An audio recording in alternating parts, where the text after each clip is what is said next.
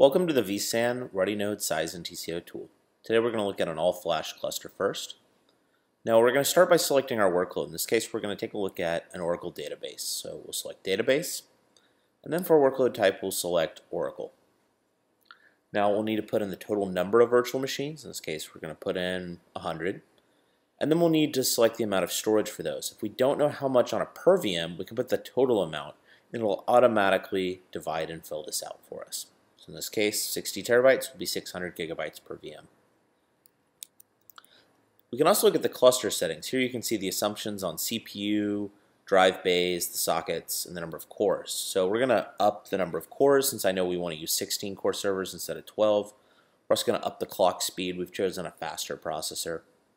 We can look at assumptions on CPU headroom, on host failure, uh, if we want to have additional redundancies for failure, and then review and set these settings. And these settings are for the cluster wide.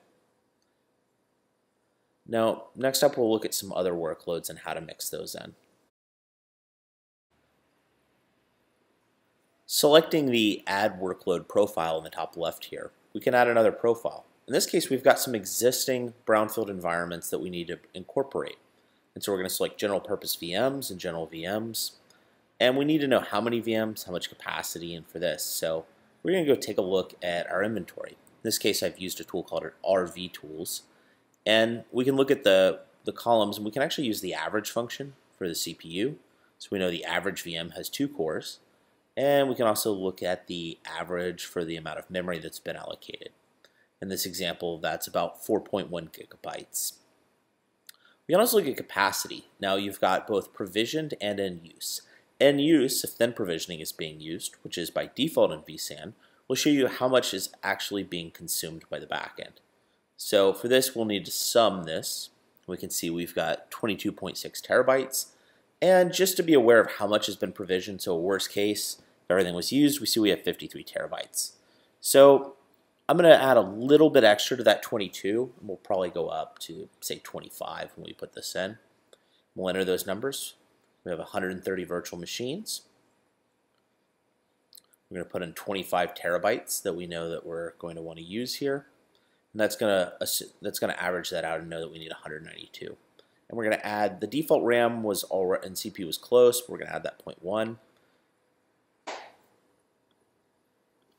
We're going to go back over to our spreadsheet and we're going to look at the tab called tab hosts and we're going to look at the number of vCPUs per core.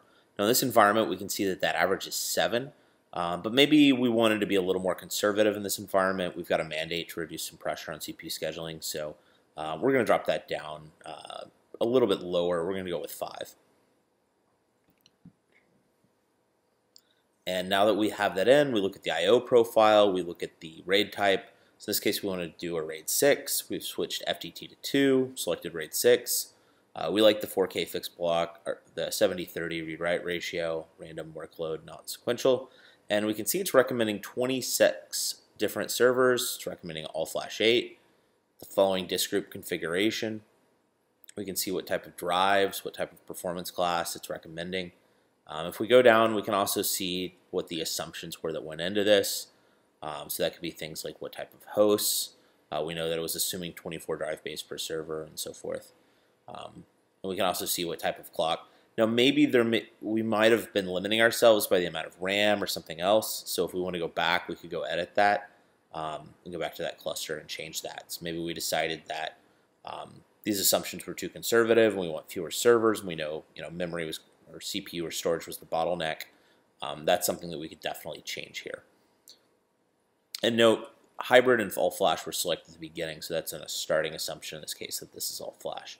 In this case, I've, I've decided to do a smaller sizing. Uh, I'm looking at single um, rack unit servers that only have eight drive bays, so I've put that in. Maybe we've got a smaller provisioning in this environment. Uh, maybe we decide there's only a subset of these that we want to do in the initial wave. Um, in this case, we're going to cut that provisioning down a bit, and we're going to rerun that. And we're also going to change uh, what our RAID protection level is. Maybe this is a, a different workload that doesn't need the same availability characteristics. We can also revisit the IOP, ratio, the IOP size as well as the ratio. And this would allow us to look at a different recommendation based on changing those assumptions.